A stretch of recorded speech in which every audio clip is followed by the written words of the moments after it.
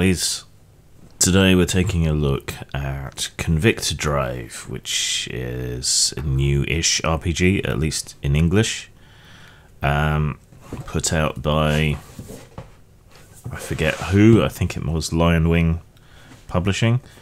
Uh, if you've been following the channel for a while, you know that I have something of a fascination uh, with foreign RPGs, and in particular Japanese RPGs. And this was originally developed in Japan in Japanese. Uh, Japan has an interesting role playing game culture with some peculiarities that you don't find so much in, in Western role playing game culture. Um, their games tend to be very structured, but also tend not to use a ton of miniatures and things. Um, also, they tend to normally use six sided dice exclusively because getting hold of polyhedrals used to be very difficult. This game uses d10s though, so, so bucking that trend. They also tend to be produced on the cheaper side, though this wasn't necessarily. Um, and weirdly, not to have a ton of art for whatever reason. Um, I think we associate Japan with anime and manga, and so you might expect their RPGs to be much more richly illustrated than they are, but they seem to take a kind of Palladium esque approach of lots of information produced cheaply. Uh, seems to be the way to go. So, for whatever reason, there you go. And for whatever reason, we seem to be getting a, a, a more steady flow of translated Japanese RPGs coming through now than we used to. It used to be very much a, a peculiarity, but what with Goblin Slayer, um, Golden Sky Stories, um, and and some others, you know, there's been a steady strickle, uh, steady strickle, there's been a steady trickle, uh, which now includes Convictor Drive. Now I just need someone to translate Terror the Gunslinger, and I'll be happy. but that seems unlikely. Um, hmm. This is an RPG based around the kind of shows that eventually influenced Power Rangers and so on. Uh, less the Sentai exactly, and more the ones around power suits so somewhere between Kamen Rider and Bubblegum Crisis is is where I would put Convictor Drive. So you play agents of uh, a private security force called Drive, who have access to these special power suits. Uh, this is due to the invention of new technology called mechatronics, um, which has been developed, uh, which allows for the implementation of exosuits, advanced robotics, uh, nanotech, that that sort of thing. If you're old school, you can think of it as being similar to robotechnology. Anyway, everyone is quite kind of wary of this new tech, and so it's largely limited to experimental areas or proving grounds and in this case, a subsection of, of Japan. Uh, Yokohama has been designated as sort of one of these testing zones, and that's where a lot of mechatronics stuff goes on. And obviously, new technology means new crimes and so on, leading to the creation of Drive, uh, this this particular force. Now, normal mecha rely on big, heavy batteries and so on, and it's uh, somewhat, somewhat impractical. But there are exosuits for all kinds of purposes police, military, construction, whatever. Your power suits are bleeding edge, new technology, ties into nanotech. Uh, but to get the full effect from your suit, you have to have some kind of past trauma for whatever reason, that allows you to, to sync up with the suit, channel your emotional torment, and that gives you access to the higher level powers uh, of the technology of the nanotech and so on. So in Yokohama, the uh, elite security forces of this of this group drive are all traumatized young people with access to hyper military grade technology. What what could go wrong? Nothing, obviously. Um, one of the first peculiarities that you run into in this system is that there are no statistics. There aren't there are no stats, which feels a bit odd. Though you might look at something like Fate and say it doesn't really have stats, just skills, which kind of also represent your stats. But then in Fate systems, you also have your various aspects, your your keywords that describe your character. You don't even have that here. All you have is your skills um, and there's a very short list of job related skills in which uh, you have your, your different levels of skill running from 1 to 5, 5 being an absolute master. You're not allowed to take things above 4 at starting level. Your skills include brawling, agility, knowledge, um, negotiation, mechatronics, and suppression. Suppression being the art of fighting multiple enemies all at once. So you distribute your points through that. That's your base human level capabilities. Excuse me. You also always wear the, the basic undersuit from your Convictor suit, which is basically a, a skin tight thing you can hide under your clothing, but which augments your physical abilities. So whether you are a hulking brute or a, a tiny wee 15 year old Japanese schoolgirl, um, your skin suit gives you roughly the same physical capabilities. So it's your skill and your suit that matter. Um, besides customizing your character with their skills, their trauma, some flavor text, and so on, uh, you also design your suit uh, there are different models of suit, and the different models of suit have different capabilities and different options. So you can fit different subsystems and weapons to your suit to customize it uh, to your requirements. Now, I found personally that I didn't feel there were enough options, but it should be relatively easy to add and remove options um, to your suit. Whether we'll get any supplementary material for this, I, I don't know. But I just felt that the depth of options wasn't really there, and you're kind of locked into certain options when you choose a particular kind of suit. I felt they should have opened it out a bit more, allow you to take options from other suits within your suit. But eh, I guess that's down to you, down to your games master. Uh, so yeah, you have your various different types. Uh, what are the types? So there's adept, which is a generalist suit. There's strength suits, which are you know heavy on the on the physical capabilities and power. Uh, there are shooters. So if you want to go for sniping or gun fu, that's the one to go for uh, runners, which are high speed, high maneuverability, uh, and that that's it, basically. Um, so ideally, you'd want different people within your group to play different types, and then to choose their options to maximize diversity of capability throughout the team. Ideally.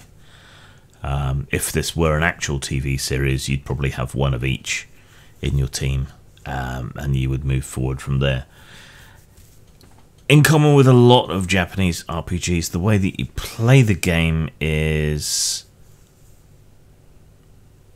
incredibly set and organized and structured, which kind of works for this because it is mission based play.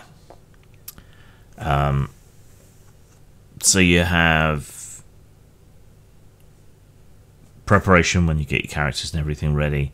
You have an opening phase where the situation is described, the mission briefing is given, that sort of thing. You have the investigation phase, which is where you piece together the mystery and gather the clues that you need to enter the climax phase, which is the, the big final fight. Um, then you close the session. The players give you feedback on how it went. You give them experience points. Experience points are spent, uh, or commendation points as it's called here. And there you go. That's the end of the session. With such a strong structure, this would be very easy to use for solo play if you want if you really wanted to. It's it's on my mind so i'm always thinking about that when i review games lately even though i don't personally rate it very much but i know there's plenty of people out there that play solo.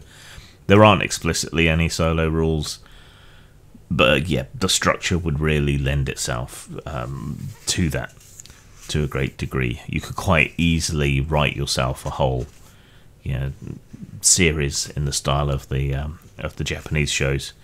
E- easy enough. So the investigation phase is where you'll make the majority of your rolls, and various elements are broken up into investigation cards. So these are little submissions within the main mission that you complete to gather enough clues to lead you to the climax. So they're described, like in this case, it is stop the kidnappers. Uh, reveal condition. Okay, this becomes available after you've cleared another investigation card. You need to put at least two characters into it. Skills that are ideal in this situation are knowledge and suppression, though you don't have to use those skills. With roleplay, you could apply a different skill brief little overview of what it's about and what the objectives are. Now, even though stopping the kidnappers might involve combat, you don't have to break out the overall combat rules in order to complete this mission. Indeed, how it describes it, it, it doesn't do that at all. This is just a sort of challenge that you have to overcome. So you need to get a certain amount of successes um, in, in order to complete it. So, I mean, strictly speaking, mechanics wise, all you have to do is gather your dice pool. You can partially activate your suits during the investigation sections to use some of the special capabilities that the suits have. You roll that, you roll that number of d10s. Normally, anything, I think it's five or above or over five. It's one or the other uh, is a success. Tens of criticals and count as two successes. So you have to accumulate that many successes. If you don't accumulate that many successes, you then um, get the opportunity from other players who are involved to make what's called a recovery check. So they can then choose to assist the lead character. They make a roll on appropriate skill. Any successes they get are then handed to the lead investigator for that for that issue, who then rolls those additional dice, trying to get enough successes. If they still can't get enough successes, um, you still don't fail. It's just it takes longer or it's done later. So you get to roll an additional three dice. Does that give you enough successes? Yes, great. No, bad but each time you're forced to go later, you accumulate what's called delay counters, which make the final confrontation and fight more difficult. Right, so fighting the kidnappers, uh, let's say um, I need two successes, I only get one success. One of my friends is there in the fight with me. They join in, they get a couple of successes, so I get to roll another couple of dice, get my second success Okay, so with help, we suppress the kidnappers and rescue the person that's been kidnapped. If I'd still failed, the kidnappers get away, we maybe track them down later, roll those additional dice. Cool, I've got enough successes to succeed, but the delay and the time and effort spent pursuing them has led to problems, which is where the delay counters come in. So, like I say, it's very, very structured.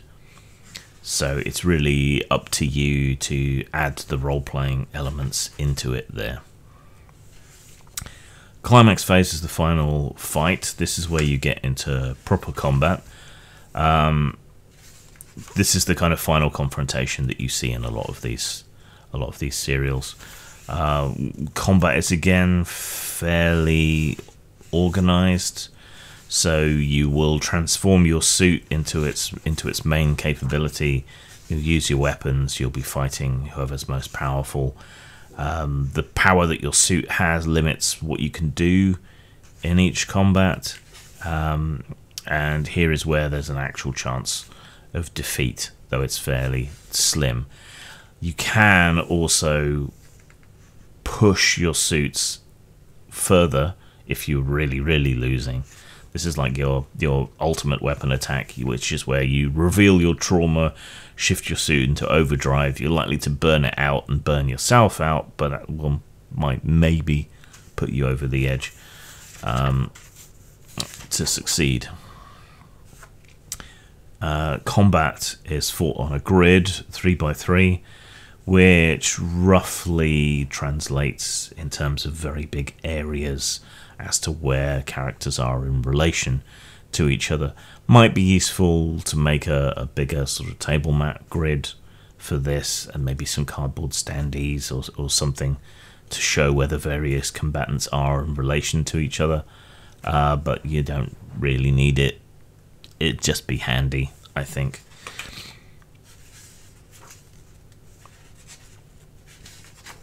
Uh, it's very rare that you're going to die.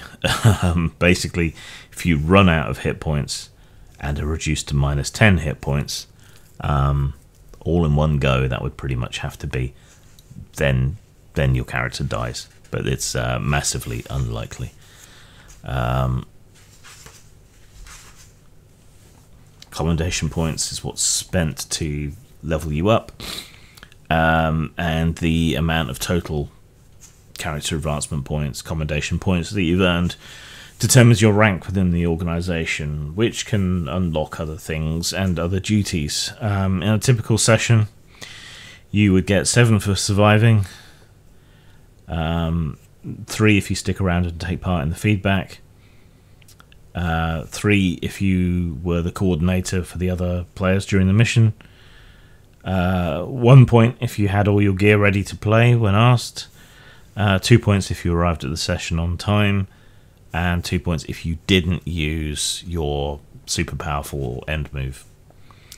So you can see how it encourages you through the experience point system to only use your powerful ending move when necessary, and in a very Japanese way, how it encourages the players to be organized and attentive and um, to to turn up prepared and to turn up at all and on time and so on. So it's kind of meta, isn't it? In- encouraging player behavior through character bonuses, but um, maybe that's something we could uh, we could see more of in the future.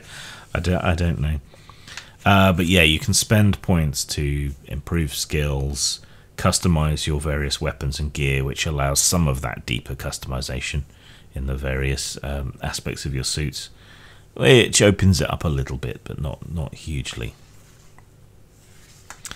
We then get a nice little background section. Um,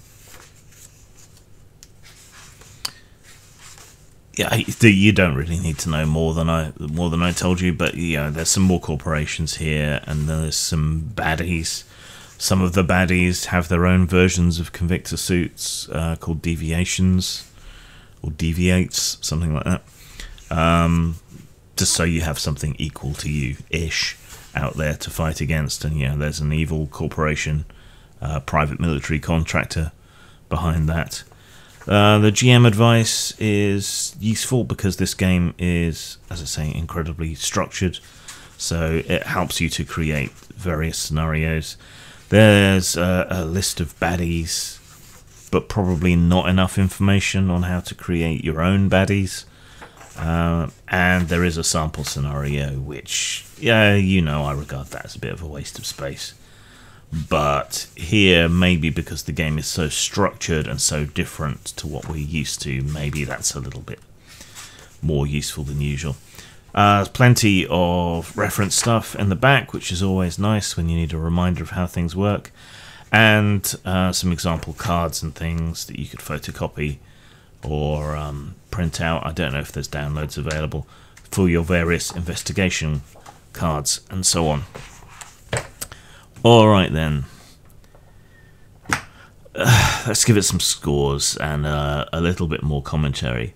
Style wise, I really can't get my head around why Japanese games don't leverage their art more. There is very minimal art in here. Maybe slightly more than there was in the original, I don't know, because, you know, translation, more money available, and so on. You have a few bigger pieces. Um, I know the full art for a lot of these pieces was done because it was in the in the crowdfunder, but you don't even necessarily see all of it within the book, and it, it's not in color, which I don't necessarily have anything against, but some people will, so it's worth mentioning. Uh, the text is readable, but it's um, possibly too simple in terms of layout, and the graphic design in the various suit parts, uh, weapons tables, and so on is possibly too basic for for a game like this. Certainly, and I know flowcharts are going to put some people off. Um, and things like the investigation cards, I felt could have done with better visual components. The writing is bearing in mind it's a translation, yeah, it's not hugely evocative, um, and could have done with a bit of bit of punching up. So in terms of style, I can't really bring myself. I mean, these look boring, right?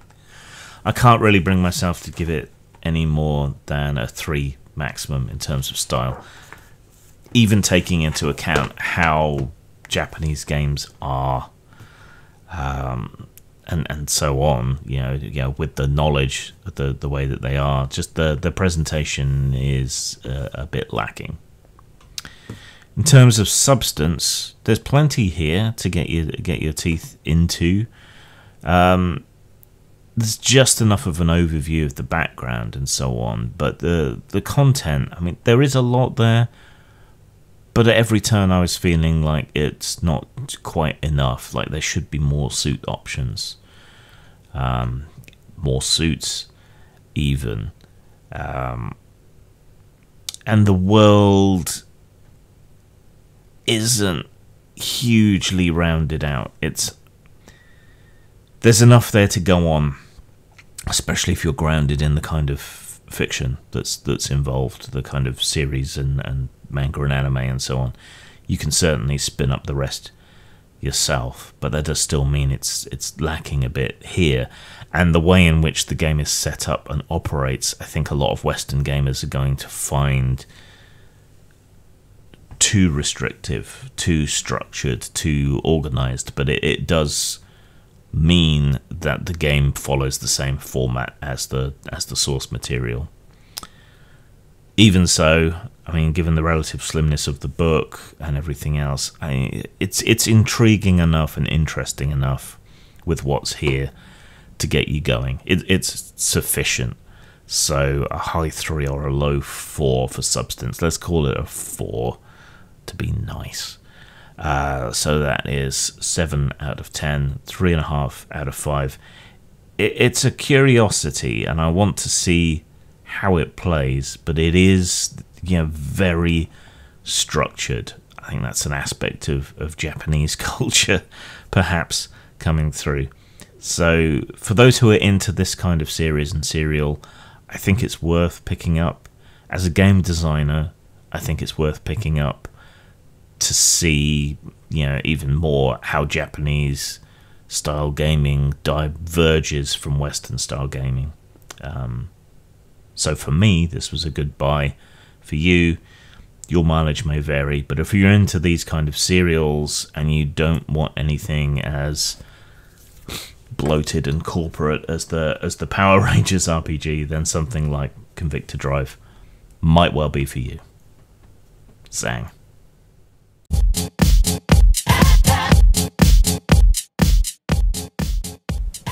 If you love my barely prepared content here, then you'll love my completely unprepared content on my streaming channel, which is youtube.com slash grimstreams, which is pretty easy to remember.